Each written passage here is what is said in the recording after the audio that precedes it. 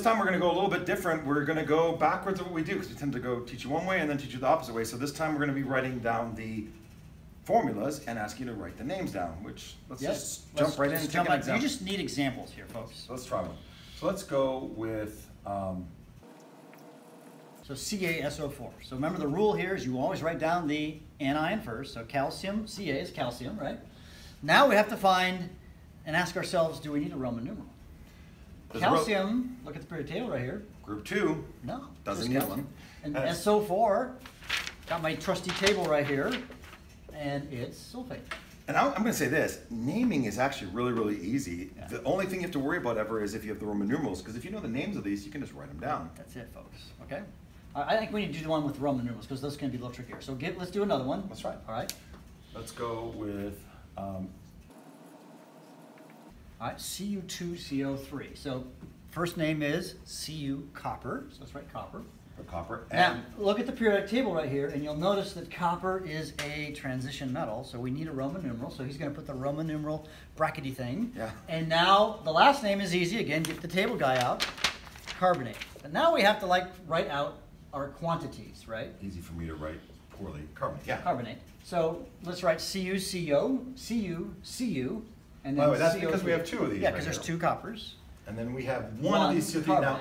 I want to be, be really clear. it's a mistake sometimes students make. This is one unit of Cu or CO3. CO3. It's not three units of something, and that's sometimes we get a little bit tricked on. But we have one of these CO3s and we have two of these. And I have to find the charge. You always know the charge of the anion, and when you look at your table here, carbonate has a charge of minus 2. Now I need to figure out what the charges are here. That adds up to 2 minus. That needs to add up to 2 positive. So what does each copper's charge have to be? Has to be Oh, no. one. So I, I like to just write a plus in there, but if you happen to be the one that Yeah. writes plus one, go for it. So But the Roman numeral is tricky. Now here's a, this one is actually quite tricky. Very often I see students take this 2 Always. and call this copper 2. It's not the number, it's the what? The charge. It's the charge. It's the charge. It really is I think the we should do one more example. Let's do one that um, we've seen before, but we're going to do it the little bit opposite route. Let's do this. Let's do NH4 parentheses 3 PO3. Okay, so we'll name the, or the cation first. So NH4 is one of those poly weirds. He's the only poly that has a one charge, so that's named ammonium. Again, some people get a little freaked out by that 3, but we're not going to get freaked out by What, now, is he a transition metal? it's No, because it's a polyion. Yeah, it's, So, and then we just name PO3, and PO3, again, trusty table, it's phosphite. Fight. Don't get confused with phosphate, which is PO4, but you'll find that on your table.